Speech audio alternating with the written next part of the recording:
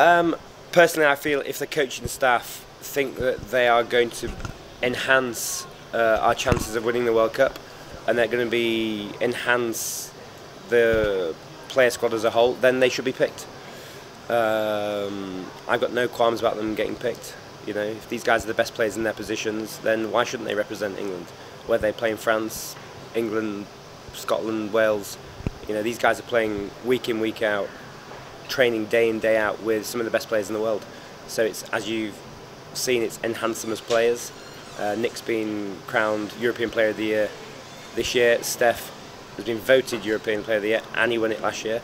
Um, so you know, the, these guys are good players, and if the coaching staff think that they're going to be uh, beneficial in the squad, that they're going to enhance the the chance of us winning the World Cup, then they should be picked. No question about it. I don't, like I said, it's it's very hard to answer. It's it's the coaching staff who are going to decide. For me, I, I don't think they should hide behind the rule that. Uh,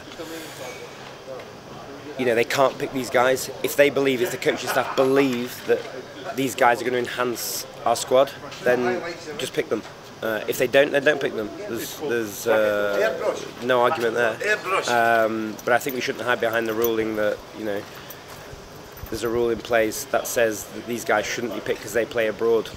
I personally if I was coach and I believe that they should be picked I'd pick them